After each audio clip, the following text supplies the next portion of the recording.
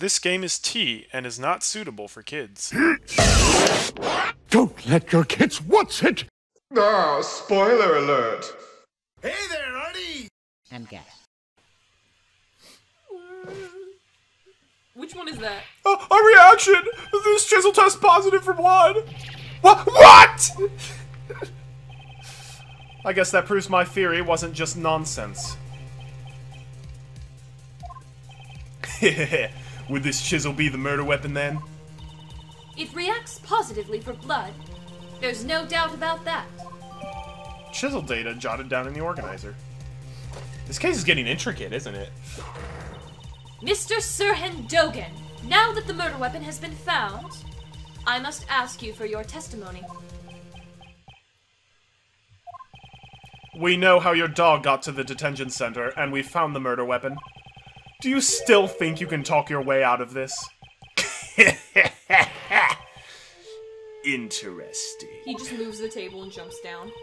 This guy, even at a time like this, he's still smiling.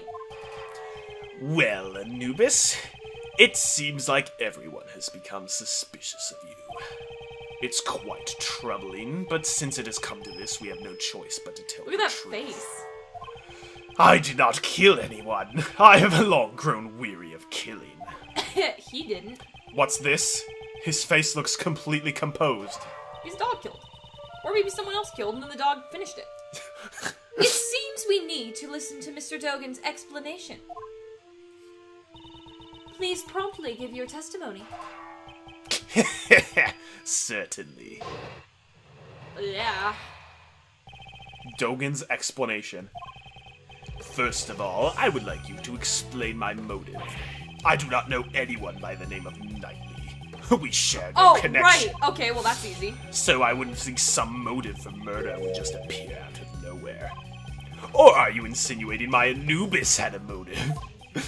Can we just press on that? he only bears his fangs at others on my command. Anubis is like, oh, I hate that guy. he stole the Scooby snacks. Anubis would definitely not be a Scooby Doo type. No, I do not hunger for blood so much as to kill a man I do not even know. Ugh, coming from an assassin, it sure is persuasive. Hmm. An assassin who only kills acquaintances? I doubt that would be profitable. I may kill strangers in my line of work, but I never make it personal.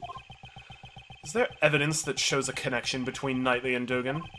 I should thoroughly review the evidence once more. Well, this is a really easy one. Doggin's explanation, because he has a dog. I'd like you to explain why my nameplate says boss. You cannot kill without a motive. That's not true. That is completely not, Not true. true. Hardly what I'd expect Von an assassin is to like the complete. No, Von Karma totally had a motive. Eh, but not really. He was just like, it was destiny. I hated Gregory Edgeworth because he penalized me in court, and so I killed him and raised his son to be every food that he hates. I think. You, you know, pretty Yeah, normal, thanks. very reasonable. that literally was Bowser's That's voice. literally Bowser's voice. Chain smoker, sorry. You cannot kill without a motive, hardly what I'd expect an assassin to say. I don't spill blood needlessly. May be required for my job, but not in my personal affairs. They're a little different. Isn't that right, Anubis? Anubis. I don't know anyone by the name of Knightley. La Nuba. You didn't know Knightley? It's not like you to say something like that. You overestimate me considerably. Did you have such a hard time arresting me in the past? We've already looked into it. You are the prison supplier. Naturally, you would have known about the other prisoners. Hold it. Hearing one thing and knowing ten is just an ideal. It's true I do hear things. However, that doesn't mean that I know everything. I've never heard of anyone named Knightley. I wouldn't think some motive for murder would just appear out of nowhere. Oh, and they're just poof. Motive for murder. You are an assassin. You do not require a motive to kill. Hey, Anubis, what do you think of this man? Is he an idiot, a fool, or possibly even a genius? You can drop the act. Answer the question. But first, consider this. Who am I? Before your eyes, you see the man you arrested yourself. The assassin Sirhan Dogen. For those I have needlessly killed, I chant a prayer. You ch- what? you you're just ending it there? There? I don't know. He's weird. I mean, he is Buddhist, so. The dog probably did not have a motive. Not all Buddhists might end their. No, no, no. I meant he's a Buddhist, so he's praying. pray. Oh, I Not, was like. well, he's a Buddhist, so obviously he's a serial killer. No, that, no, no. Don't No, take that out no, of context. no, I'm sure Buddhists are wonderful people. I think they're cool, probably. I think, um, oh yeah, remember uh, Brendan on Great British Bake Off? He was a Buddhist. He was one of my favorite contestants. Brendan was a Buddhist? Yeah, where, not know that. where you like learned that literally in the last episode, where you're just like, oh yeah, he's like this cool old guy like gardener, and then it's like last episode, that last episode is like, oh yes, Brendan has uh, like like it goes with like enjoys like spending time with his Buddhist group. It's like, wait, well, he was a Buddhist? I didn't know that. Okay. But that's like that's it. It's just Yeah. like it's just chill. It's like oh, like Yonda love Yonda. Yonder loves to garden Yeah, and like- ho- use ho- do horticulture with her schnauzer. Today, she's making crackers in the shape of a gingerbread house, Yup. flavored with spiced curry and pickles. I love that show to death though. The dog probably did not have a motive. However, it has been trained to kill. Edgeworth would watch for the big off. Anubis, how could this man say such a thing? You poor thing. There, there, there, there. Dare, dare. I'll be there. I'll be there. The dog isn't you. He could have mistaken his target. In that case, wouldn't police dogs be equally untrustworthy? Ooh. If you still mean to suspect Anubis, I mean, missile's not really trustworthy. then you'll have to show me this evidence you're so fond. Evidence. Missile. I don't have that kind of evidence. Okay, well it's pretty obvious. He only bears his fangs at my command. Then, perhaps you ordered him to kill Knightley. Aren't we impatient? Haven't you forgotten the first thing I said? I don't know anyone called Knightley. Although you still insist I do, I'm afraid there's no evidence. Don't you think so too, Anubis? Good boy, good boy. Did the dog kill him, or did Dogen? If Dogen did not have the motive to kill, then he could not have murdered Knightley. First, I should show proof of some connection between Dogen and Knightley. Yeah. We share a connection, actually, because of the correspondence chest. He was about to beat me, so I killed him. You've lost your touch, Sirhan Dogen. If you had your dog clean up after you, you should have disposed of this too. This is a record of a correspondence chess game found in the victim's cell. This record and the chessboard in your cell both clearly depict the same game. what? I've heard that the number of possible chess positions is around 10 to the 120th power. 10 times 10. Two, 120 times. Uh, de- 100, 1000. Um. Is that even a real number? Indeed. There's absolutely no way these two could have coincided by chance. Tell us your reason for killing Knightley! Unless you intend to explain this as a coincidence.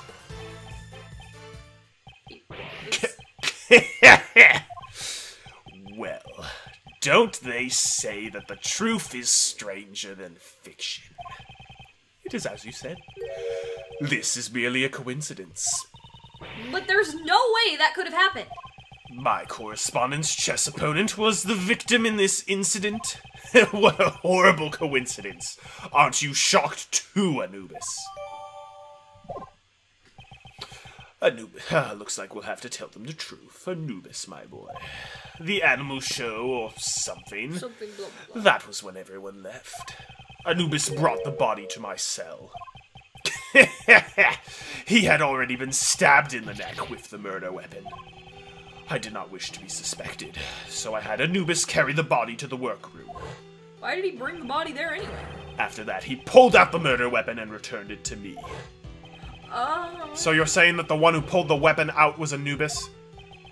That's right. If I pulled out the murder weapon here, the blood would have been a problem. I love how he's like an assassin, but he's still like a total dog lover. Just like, oh, he's the cutie.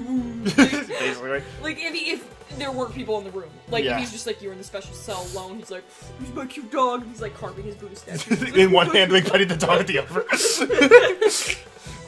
Mr. Edgeworth, isn't that what the saw it guy said? A large black dog was biting into the neck of the victim. What? What did you say? It was a truly hellish scene. That dog! That dog killed him! I see.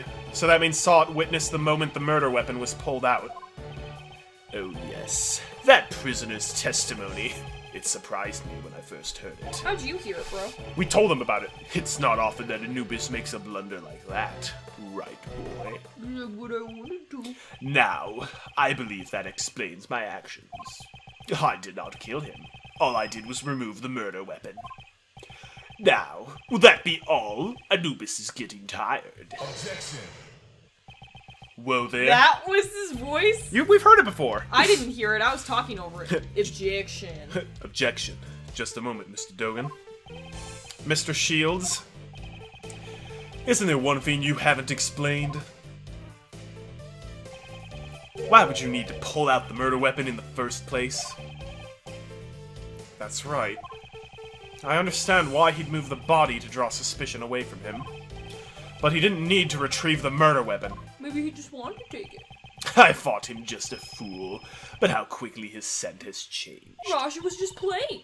yeah, That is literally this entire case. basically. Care to elaborate, Mr. Dogen? It was because of this bell. The bell attached to the murder weapon, and the bell on my dog's neck.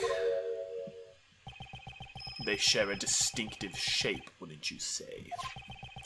The assassin Sirhan Dogen's trademark. An assassin's trademark?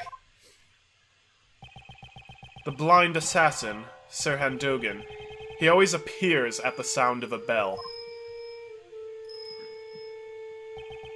The sound of a bell ringing in the dark of night. It's said to be the last thing his target hears. Man, imagine when this guy like got his service dog, mm-hmm. and because you have to like go to like a training thing. They're like, "Oh, like your cute little service dog. What a cute you-" black like, lab. Yeah, like what you gonna do with it? And he's like, "I'm going to teach it to murder my sass, like all of my like clients. Clients, They're Not like, clients, the victims. Targets. Yeah, I was like, I want you to kill this person. I'll kill you Instead. Reverse assassin. you wouldn't get any money that way. He works for the government. yeah, you remember well. It has been a while since you last saw my bells, after all.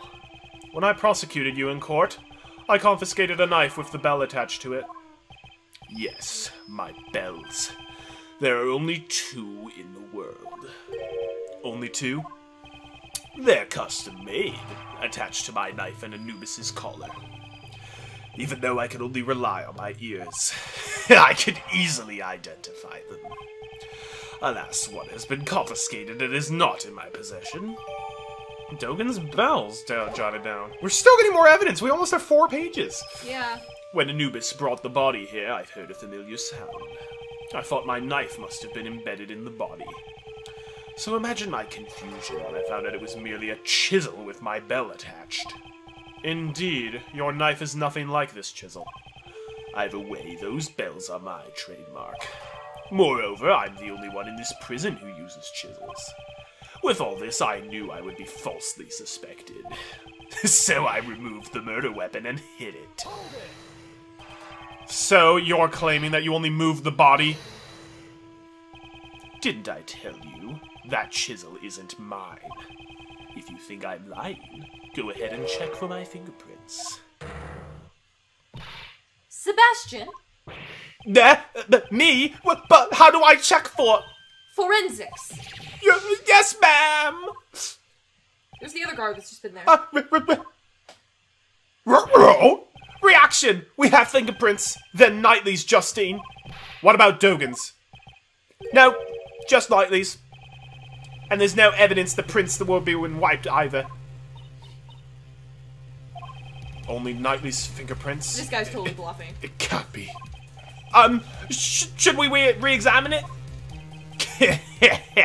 See now, I never even touched that chisel He doesn't need to. because I ordered Anubis to carry it in his mouth. In other words, the fingerprints belong to the chisel's original owner. The murder weapon's owner was the victim? Hmm, that is perplexing. At any rate, I did not touch the murder weapon. In other words, the killer could not have been me. Isn't that right? Gah!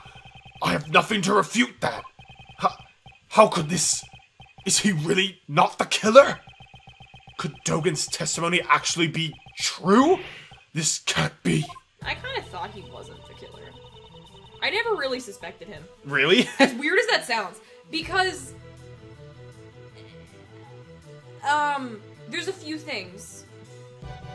I feel like whoever murdered them has to be close enough to Knightley, other than like we play chess every two days. other than that, second, I think it had to be someone tied to the circus.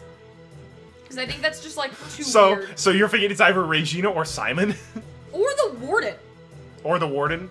Or the warden. The warden's a circus performer, too. No, but th- she's like, she loves the circus, and she's like, oh, this is amazing.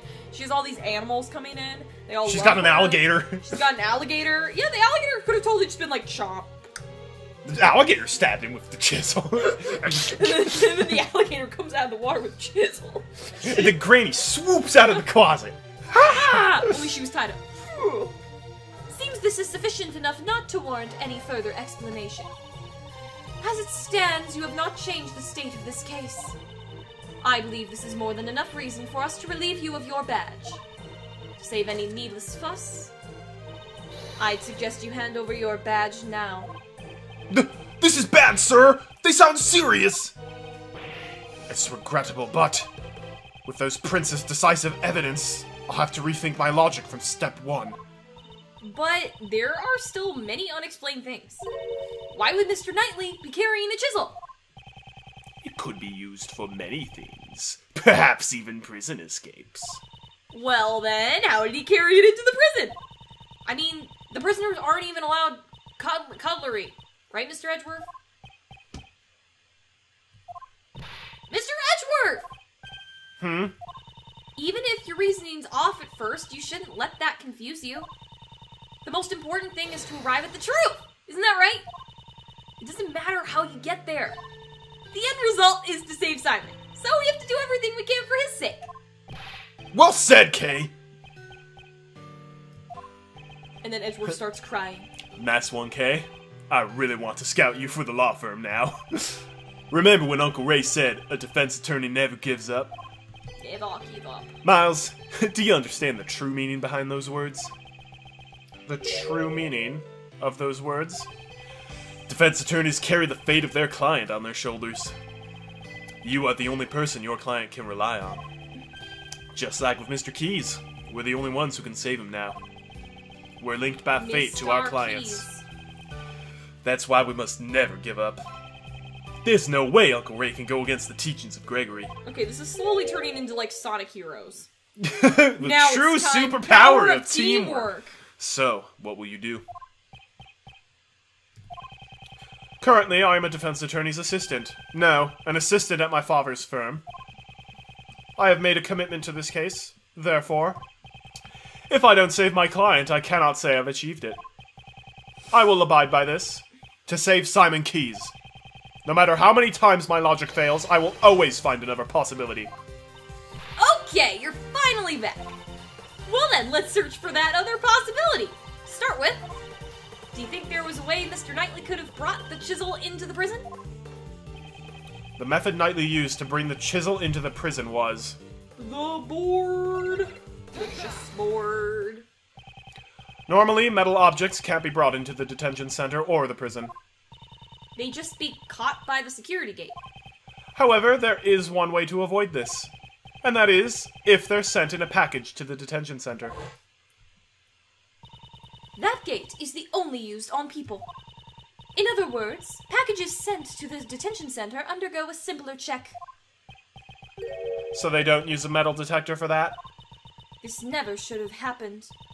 It seems the guards were too careless. The guard's like in the room, like right here, guys. No. I don't know. I don't know. wh- what will Yeah, that was nose me- pinch guy. Nose pinch guy. Knowing this, Knightley asked Simon to send him a package. Namely, a chessboard containing the chisel. Well, this has solved one of our problems. The fact that the chisel was not Mr. Dogen's, but Mr. Knightley's. Given this, one major issue remains. The security camera shows a dog attacking the victim. As long as that exists, I will maintain that Dogen is the killer. But Dogen never touched the murder weapon. I'm stumped. We also desire a conclusion to this matter. Mr. Edgeworth, we can use one of my secret weapons, sir. Secret weapon number four, the video analyzing machine, Mr. Analysis. Why didn't he tell us about this sooner? What's with that ridiculous name? Uh, I named it myself, sir. This will let us analyze video footage in detail. Go ahead. You'll soon see I'm not lying. I don't know what will come of this, but all we can do now is investigate. I wish we had Little Thief. Mr. Edgeworth, do you know how to use Mr. Analysis? A video analysis machine. Should I hear how to use it? Detective Gumshoe, could you show me how to use it? Of course, sir! Fundamentally, it's the same as investigating a crime scene. You just examine anything that piques your curiosity. To examine, I just press the X button. Now, I'd like you to look at the buttons below the monitor. The left and right buttons will rewind and fast forward respectively, and the center button lets you pause the video. Let's make good use of it to advance our investigation, sir. To rewind and fast forward, I use the Y and A buttons. And to pause, I use the B button. While paused, you can go to the previous frame or the next frame. You just use the same left and right buttons as before, sir. Next, I'll explain how to zoom in. Just point to the cursor at the area you want to zoom in on and press the button on the upper left of Mr. Analysis. The one that says Zoom Plus. It seems I can also use the L button to zoom in. And after you've zoomed in, you can examine it just like you would be in the original image. Use the previous frame and the next frame buttons to examine frame by frame. But you can't actually play back the video in this mode, so keep that in mind. And what should I do if I want to zoom out? Just the top left button is Mr. Analysis. Again, sir, it's zoom minus. Now it should say zoom minus. And that concludes the explanation, sir. Well then, let's turn on Mr. Analysis. Use Mr. Analysis to examine any suspicious part of the video, sir. This is the video from the detention center's camera. I believe this was the moment when Knightley was being attacked by the dog. If that wasn't the case, then what does it show? Is the person in this video really Knightley? And what is the true form of the black silhouette attacking this person? I should check the video and try to find the answers to these two questions. There could be unexpected things in unexpected places. So be sure to check every nook and cranny of the video, sir. What part of the video is strange? I'm actually gonna break out the pause button.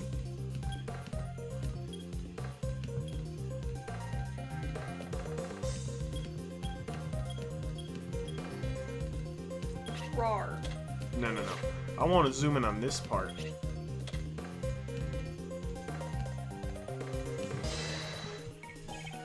The, this is...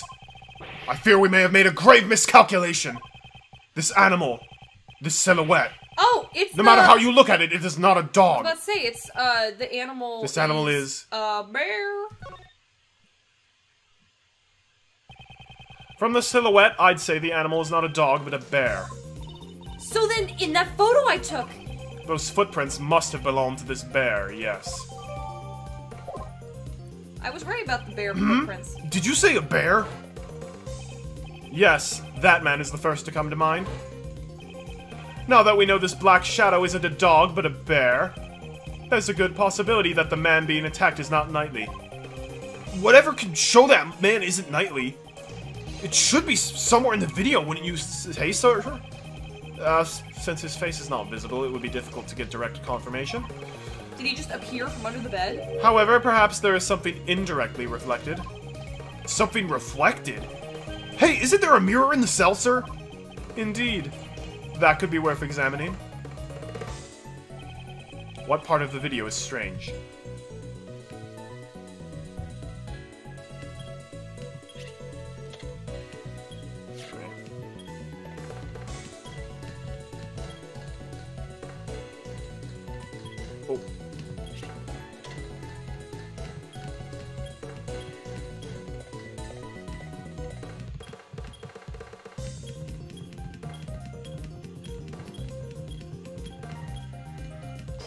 That mirror moving forward. A reflection of this person can be seen in the mirror. Hmm? Is that a cap on his head? Actually, it looks kind of like the caps on the prison guards w- that they wear, sir. Bro, I was on it. You don't think it was a guard who was attacked? Have you received a report of any guard being attacked by an animal? No, not that I've heard, sir, but it's possible I just couldn't understand what they were saying. Okay, wait. So this means I was right. This guy dressed up, the most buff guard you will ever see now. um, dressed up in the uniform, maybe tore it a little bit on like the arms. Oh, so buff. And then um, he was like, "Oh, I'm gonna take the prisoner, put the handcuffs on and off." And then you know, Knightley sees Yeah. this isn't him. He's like, "Oh my gosh, holy crap!" Like soccer, soccer Punches him? Punches him. Except he doesn't go to the hospital because it's uh, that guy. And he said he was like hurt in training or something. Didn't he say that? Or did he say he Wait. was sleeping?